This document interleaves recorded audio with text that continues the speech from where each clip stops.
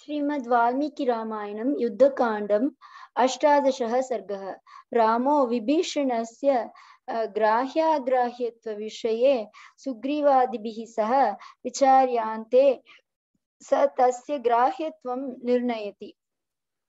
अत राम प्रसन्नात्मा श्रुत्वा वायुसुतस्य, प्रत्यभाषत दुर्दर्शः श्रुतवानात्मनि स्थितं ममापि च विवक्षास्ति काचित् प्रतिविभीषणं श्रोतुमिच्छामि तत्सर्वं, भवद्भिः श्रेयसि स्थितैः। मित्रभावेन सम्प्राप्तं। न त्यजेयं कथञ्चन दोषो यद्यपि तस्य स्यात्। सतामेतद्दह गर्हितम्। सुग्रीवस्त्वत् तद्वाक्यम् अभाष्य च विमृश्य च। ततः शुभतरं वाक्यम् उवाच हरिपुङ्गवः।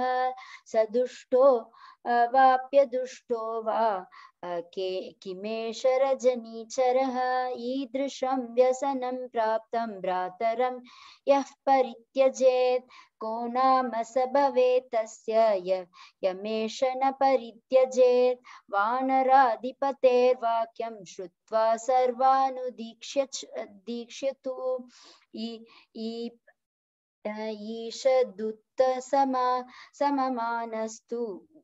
समयमानस्तु लक्ष्मणं पुण्यलक्षणम् ईषदुत्सय उत्स्मयमानस्तु लक्ष्मणं पुण्यलक्षणम् इति होवाच काकुत्स्थो वाक्यं सत्यपराक्रमः अनदीत्य च शस्त्रा, शास्त्राणि वृद्धान्त वृद्धाननुप अनुपसेव्य च न शक्यमीदृशं वक्तुं यदुवाच हरीश्वरः।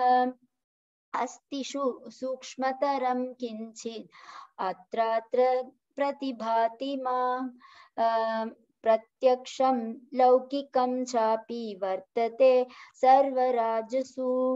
अमित्रास्त्वत्कुलीनाश्च प्रातिदेश्याश्च कीर्तिताः व्यसनेषु प्रहर्तारस्तस्मादयमिहागतः आपापास्तत्कुलीनाश मानयन्ति स्वकान्तितान्।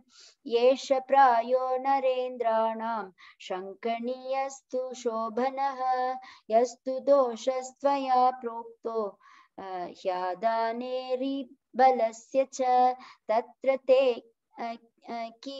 कीर्तयिष्यामि।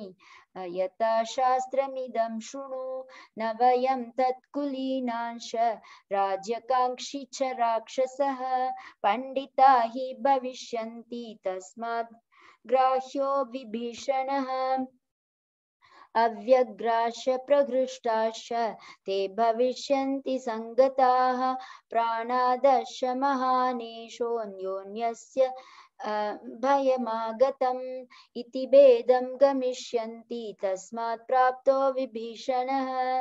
न सर्वे भ्रातरस्तात भवन्ति भरतोपमाः। यद्विधा वा पितुः पुत्रा सुहृदो वा, भवद्विधा।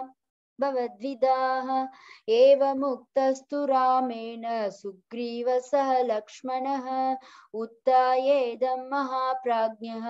प्रणतो वाक्यमब्रवीत्। रावणेन प्रणिहितं। तमवेहि निशाचरम्। तस्याहं निग्रहं मन्ये। क्षमं क्षमवताम्बर। राक्षसो जिह्मया बुद्ध्या।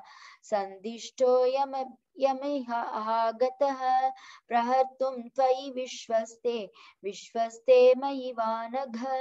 लक्ष्मणे लक्ष्मणे वा महाबाहो सबध्यः सचिवैः सह, रावणस्य नृशंसस्य भ्राता ह्येष विभीषणः एवमुक्त्वा रघुश्रेष्ठं सुग्रीवो वाहिनीपतिः, वाक्यज्ञो वाक्यकुशलं ततो मौनमुपागमत्। स सुग्रीवस्य तद्वाक्यं रामः श्रुत्वा विमृश्य च, ततः शुभतरं वाक्यम् उवाच हरिपुङ्गवम्। स दृष्टो वाप्य वाप्यदृष्टो वा किमेष रजनीचरः सूक्ष्ममप्यहितं कर्तुं मम शक्तः कथञ्चन। पिशाचान् दानवान् यक्षान् पृथिव्यां चैव राक्षसान्। अङ्गुल्यग्रेण तान् हन्यामिच्छन् हरिगणेश्वर। श्रूयते हि कपोतेन शत्रुशरणमागतः अच्छितशयता न्यायं कैश मांसैर्निमन्त्रितः सहिम, सहितं प्रतिजग्राह। भार्याहर्तारमागतं कपोतो वानरश्रेष्ठ किं पुनर् मद्विधो जनः।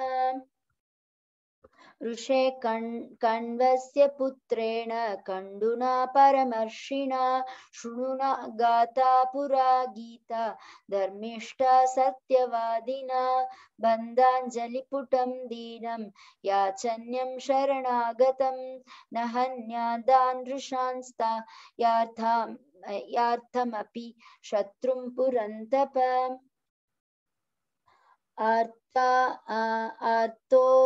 आर्तो वा यदि वा दृप्तः परेषां शरणं गतः। हरिः प्राणान् परित्यज्य रक्षितव्यः कृतात्मना। सचेद्भयाद्वा मोहाद्वा, कामाद्वापि न रक्षति। स्व स्वदा शक्त्या यथा न्यायं तत्पापं लोकग लोकगर्हितं विनष्टः पश्यतस्तस्य, रक्षिणः शरणं गतः आदाय सुकृतं तस्य, सर्वं गच्छेद एवं दोषो महानत्र प्रपन्ना नाम रक्षणे, अस्वर्ग्यं चापशस्यं च बलवीर्यविनाशनम् करिष्यामि यथार्थं तु कण्ठो वचनमुत्तमं कण्डोर्वचनमुत्तमं धर्मिष्ठं च यशस्यं च, स्वर्ग्यं स्यात्तु फलोदये, सुहृदेव, सहृदेव प्रपन्नाय, तवास्मीति च याचते, अभयं सर्वभूतेभ्यो ददाम्येतत् व्रतं मम। आनयैनं हरिश्रेष्ठ। तद्दत् अस्मात् भयं मया विभीषणो वा सुग्रीव, यदि वा रावणः स्वयं रामस्य तु वच श्रुत्वा सुग्रीवप्लवगेश्वरः प्रत्यभाषत काकुस्थं सौहार्देनाभिपूरितः। किमत्र चित्रं धर्मज्ञ लोकनाथशिखामणे यत्त्वमार्यं प्रभाषेत सत्त्ववान् सत्प्रते स्थितः मम चाप्यन्तरात्मानं शुद्धं वेति विभीषणम्, अनुमानाच्च भावाच्च सर्वतः सुपरीक्षितः सुपरीक्षितः तस्मात् क्षिप्रं सहास्पाभिस्तुल्यो भवतु राघव, विभीषणो महाप्राज्ञः सखित्वं चाम्युपैतुनः चाभ्युपैतुनः ततस्तु सुग्रीववचो निशम्य, तद्धरीश्वरेणाभिहितं नरेश्वरः। विभीषणेन विभीषणेनाशु जगाम सङ्गमं पतत्रिराजेन यथा पुरन्दरः। इत्याशे श्रीमद् रामायणे वाल्मीकिये आदिकाव्ये युद्धकाण्डे अष्टादशः सर्गः।